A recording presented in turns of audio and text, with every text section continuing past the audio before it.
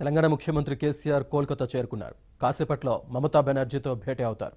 Third front ఏర్పాటుతో పాటు జాతీయ రాజకీయాలపై చర్చిస్తారు.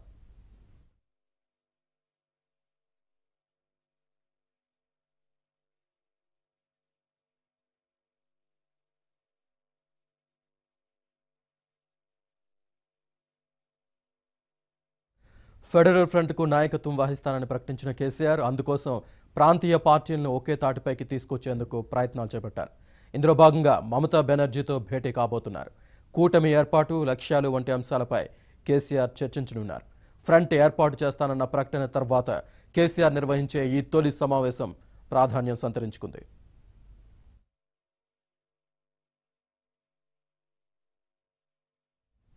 ఇప్పటికే బీజేపీ కాంగ్రెసేతర కూటమికి నాయకత్వం వహిస్తానన్న కేసీఆర్ ఇప్పుడు అందుకు అనుగుణంగా అడుగులు వేస్తున్నారు.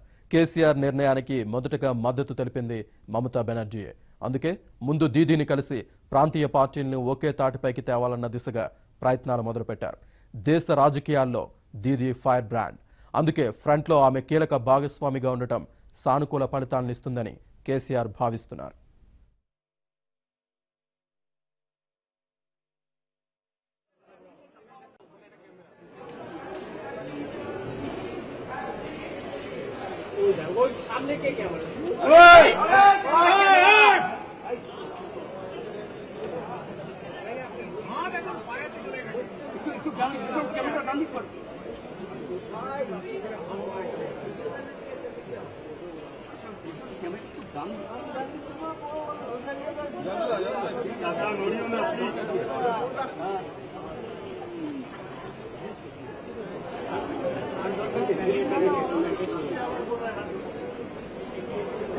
আমাদের ঘটিও না please sir one moment sir sir একটু দাঁড়িয়ে যান please sir one second please please sir one second sir please please এই ছবিটা যাবে না কোনটা দেখবে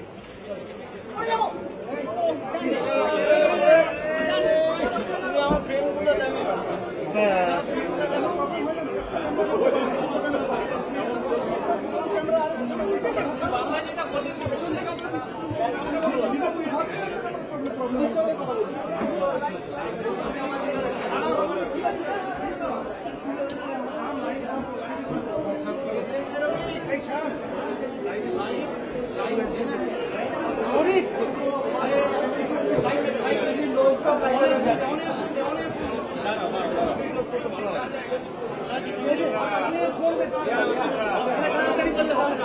Bora, Petinho.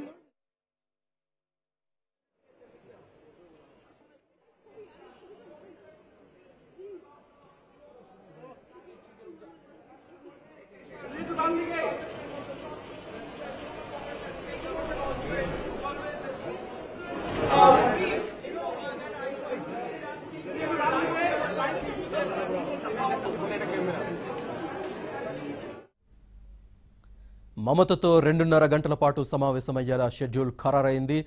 దేశ రాజకీయాల్లో ప్రస్తుత పరిణామాలు మారుతున్న సమీకరణాలు తదితర అంశాలపై ఆమెతో చర్చించాలని ప్రస్తుతానికి కోల్కతా చేరుకున్నాడు. మన కోల్కతా చేరుకున్నారు. ప్రస్తుతం మనం చూస్తున్నాం లైవ్లో చూస్తున్నాం. మమతా బెనర్జీని కేసీఆర్ కలుస్తున్న దృశ్యాలు మనం లైవ్లో చూస్తున్నాం.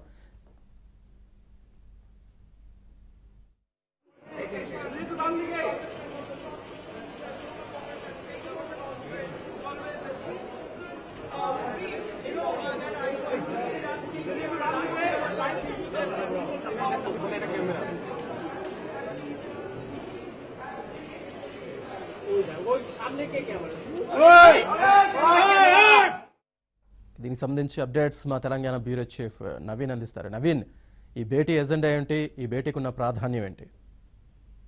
కొద్దిసేపటి క్రితమే పశ్చిమ బెంగాల్ రాజధాని కోల్కతాలో పశ్చిమ బెంగాల్ రాష్ట్ర సెక్రటరీ సెక్రటేరియట్కు తెలంగాణ సీఎం కేసీఆర్ చేరుకున్నారు పశ్చిమ బెంగాల్ సీఎం మమతా బెనర్జీ కేసీఆర్కు స్వా- సాదరంగా స్వాగతం పలికారు. కేసీఆర్ వెంట parliamentary TRS party parliamentary party నేత కేకేతో పాటుగా టీఆర్ఎస్ ఎంపీ కవిత కూడా ఉన్నారు. సో మొత్తం మీద రెండు గంటల పాటు ఈ భేటీ జరగబోతుంది.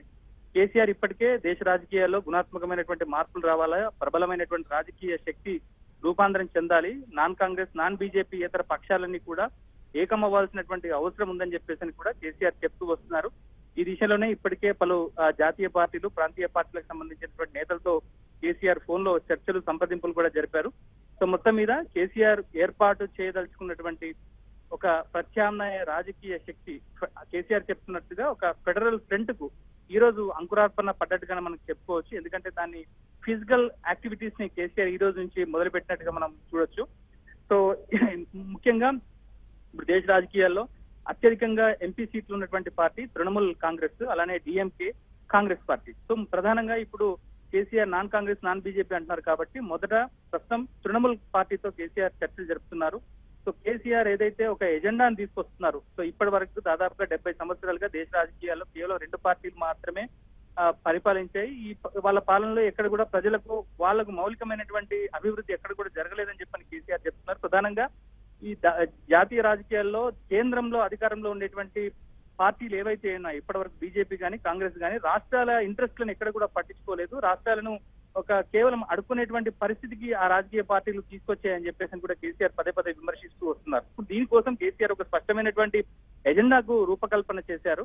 సో దానికి సంబంధించినటువంటి ఆ, చర్చలు ప్రస్తుతం తృణమూల అధినేత్రి మమతా బెనర్జీతో జరపబోతున్నారు. దాదాపుగా రెండున్నర గంటల పాటు చర్చలు జరుపుతారు. చర్చల అనంతరం కేసీఆర్ అలానే మమతా బెనర్జీ మీడియాతో అడ్రస్ చేయబోతున్నారు. అయితే ఇక్కడ ఇంకో విషయం చూడాలి. మనం మమతా బెనర్జీ ముందటి నుంచి కూడా బీజేపీ ఏతర ప్రత్యామ్నాయ కూటమి కోసం ఆమె చూస్తున్నారు. సో కాంగ్రెస్ తమ కూట కాంగ్రెస్ కూటమి కాంగ్రెస్తో పాటు కలిసి వెళ్ళాలనేటువంటి యోచనలో ప్రస్తుతం మమతా బెనర్జీ ఉంది. అయితే KCR non BJP non king Congress slogan తీసుకొస్తున్నటువంటి నేపథ్యంలో కేసీఆర్ ఏదైతే మమత మమతా ముందు ప్రతిపాదనలకు కానీ ఎజెండాకు కానీ కార్యాచరణకు కానీ మమతా బెనర్జీ నుంచి ఎటువంటి స్పందన వస్తుందనేది మనం వేచి చూడాలి.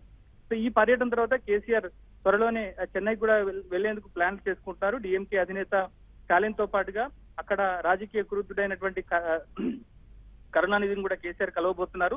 అలానే కర్ణాటకలో జేడీఎస్తో కూడా కేసీఆర్ చర్చలు సంప్రదింపులు జరపబోతున్నారు.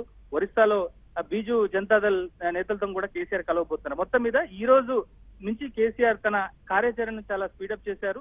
సో నిదానంగా ఒక్కొక్క జాతీయ పా- పార్టీలతోని ప్రాంతీయ పార్టీలతో చర్చలు జరిపి దీని ఒక షేప్ తీసుకొచ్చేటువంటి ప్లాన్ లో ఉన్నారు Srinivas right thank you very much Naveen